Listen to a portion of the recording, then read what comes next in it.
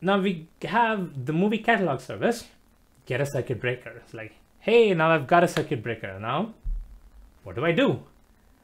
When a request comes in, what do I do? In the case of an electrical circuit, it's fairly simple. You just disconnect the circuit for that thing. So power is out for a certain portion of the, of the, of the circuit. But this is a microservice. There's a request coming in and the person who's making the request expects you to do the job, right? Somebody comes and says, hey, give me movie info.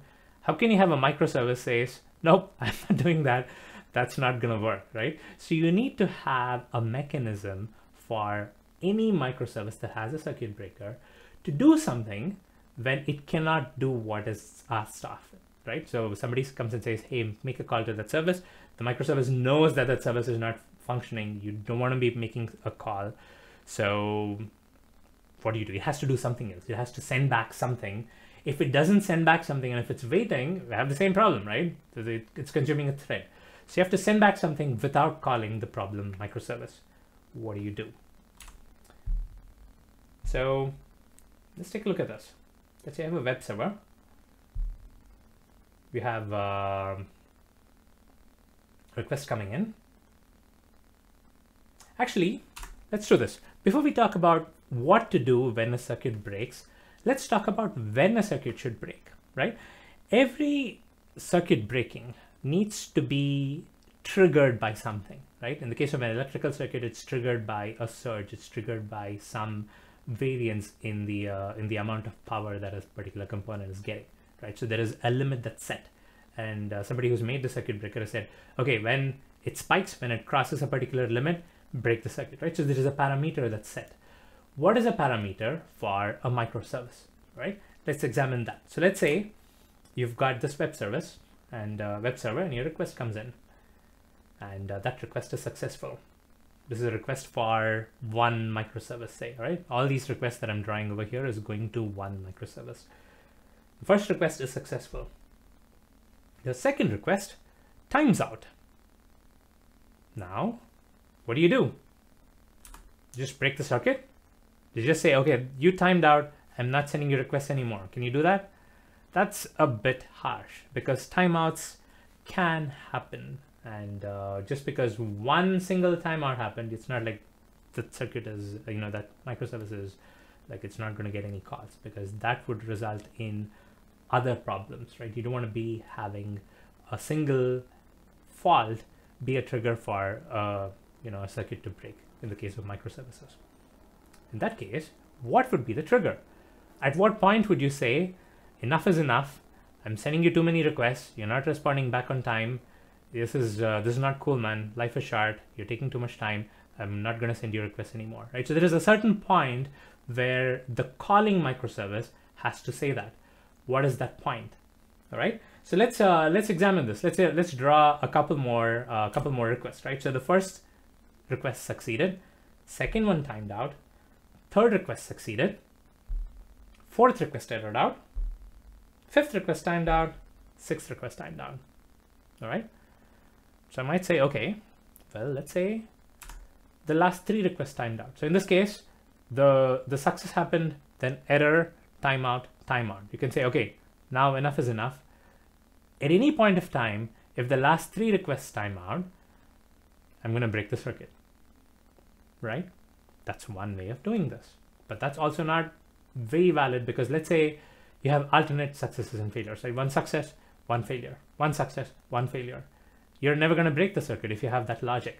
So what I'm trying to say is the logic that you need to set for what is the trigger for the circuit to break that needs to be smart enough to accommodate a bunch of use cases. It needs to be smart enough to accommodate, okay, what if it's intermittent? What if um, it's mostly successful, just a few timeouts interspersed. So you need to know what are the parameters for your circuit to break, right? So there are a bunch of parameters that you can set. Um, I'm going to quickly go over them. Here are some circuit breaker parameters. The first set of parameters are influenced when a circuit trips. So the parameter, and these are kind of like standard parameters which are used in uh, a bunch of uh, other frameworks as well. So first thing you're going to be looking at is the last n requests to consider for a decision, right? Like I said, when something fails, you don't say immediately, okay, I'm calling it quits. You're going to be like, okay, this is a failure. Let me look at the last five requests and see how many of those failed. If you get a successful response, you're not going to do any of that. Life is good. But when a failure response comes, you're going to be like, okay, is this the first time it's failed? Let me look at the last five requests, right? So that's the n here. You're going to be looking at the last n requests in order to make a decision. That's the scope of what you're going to be looking at. You're not going to be looking at a single request per se because that's not very informative. Last n requests. Next parameter. How many of those last n requests are failing? So let's say you're looking at the last five requests. If two of those five requests fail, do I break the circuit? If three of those five requests fail, do I break the circuit? So this is a parameter that you need to set when you configure your circuit breaker, right? We're going to be doing that in the code later, but I want you to understand that this is the this is these are the parameters that you can control and you should be controlling because this is the only way you can get a proper logic for breaking the circuit. All right? This is uh, this is the second parameter. The third parameter is the timeout duration itself. At what point of time do you consider that something has failed, that something is a timeout, right? So do you wait for two seconds for something to fail and then mark it as a failure, or do you wait for three seconds? That's timeout. It's similar to what we did with the REST template. You remember we did a generic REST template timeout implementation, which has nothing to do with circuit breakers. It was like just timing out all the time. But with circuit breakers, it's like, what if a request takes five seconds? You're not going to be waiting forever. You have to mark it as a failure and consider it for this logic that we've been talking about. At what point of time do you mark it as a failure? This is a timeout duration. You say, mark it as a failure after three seconds. So three seconds is a timeout, which the circuit breaker is going to use both to time out a request and to consider that request as a failure so that it's informed about when to break the circuit when it eventually has to make that decision. All right, these are the three parameters. There are a bunch more, but these are like the important ones. Next, the important parameter that you wouldn't think about, but it's it's obvious why it is important. When does a circuit get back to normal? Uh, I have called it as untrip, but I know that that's not a word. When does the opposite of a trip happen, right? When a circuit trips is those three parameters, when does the circuit get back to normal, right? For that, the parameter that people usually use is how long to wait before the circuit breaker tries again, right? One thing that we've learned is that when something is bad with a microservice, the worst thing you can do is send more requests its fail because what is bad is going to get worse. So you want to wait, you want to give it some time. So when the circuit breaks, when does the circuit breaker send requests again? When does the circuit breaker look again? It's like, okay, are you okay now? Right? So it has to give it a certain time. So that's this timeout. This is the time for how long the circuit breaker waits before trying again to see if that failing microservice is okay. All right, so I'm going to give a couple of examples to show you how these parameters are going to look. These are not parameters that you would want to set in a production application. These are very, very bad choices for an application in production. But I have set these as parameters because um, kind of it, it's an aid for me to help explain this concept to you. I'm going to take an example and explain this concept to you. All right, let's say these are the parameters. Last n request to consider. I say look at the last five requests. Okay, I'm going to look at the last five requests. How many of those five requests should fail? This is the next obvious question, right? I'm going to say, okay, wait for three of those last five requests to fail. If less than three have failed for the last five times, it's okay, keep sending the request. But if three fail, that's when you break the circuit. The circuit breaker says, okay, I'm going to do that. Now, what do you define as failure? At some point of time, I'm going to time out the request. Do I do it after one second? Do I do it after two seconds? Do I do it after three seconds? I'm to say, okay, do it after two seconds. If a request is taking more than two seconds, mark it as a failure. And then the final thing it's going to ask is, how long do I have to wait before I try to send requests to that failing microservice again? And that's another configuration. You say, okay, wait for 10 seconds. When the circuit breaks, wait for 10 seconds and then try to send something again. All right. Now let's look at an example scenario where these configurations play out in, um, in a bunch of requests, right? So let's say these are the requests to a microservice. First request takes 100 milliseconds, super fast. Within the timeout, the circuit breaker says, okay, this is a success. Second one takes three seconds.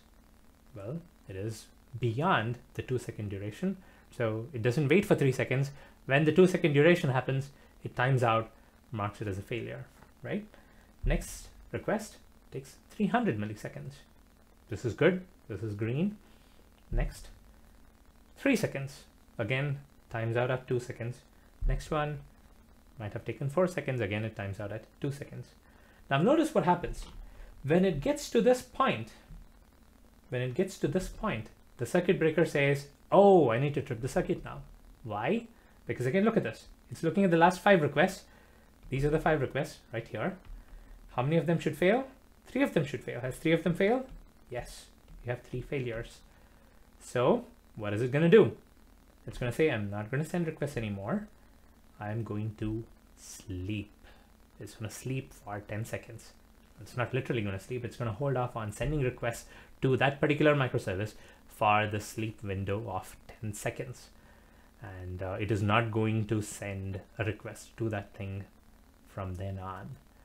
It's important to note because suppose a request was sent, right? During the sleep window, suppose a request was sent and it would have taken 200 milliseconds. You're going to miss it, which is fine because you want the circuit to break at this point because you don't have a reliable guarantee that that would have taken 200 milliseconds. That might have taken five seconds. It might have resulted in another failure, right? So at a certain point of time, you're going to say, okay, enough is enough. I'm going to break the circuit. Now, how do you get to that information? How do you get and say, okay, I want these many requests to fail before I break the circuit? It's a very tricky number to get to. Most of the times it depends on two main factors. It depends on how many requests are coming in, how frequently requests are coming in, and how big is your thread pool, right? Based on that, you have an idea of how much capacity your uh, your application server can handle with the number of threads coming in, how many threads can wait, and then based on that, you can uh, you can configure the, these values. But it is tricky. It's more of like a trial and error thing. You deploy something, see it working, see where things are failing, and then kind of tweak it along as you go, and you do it on an ongoing basis.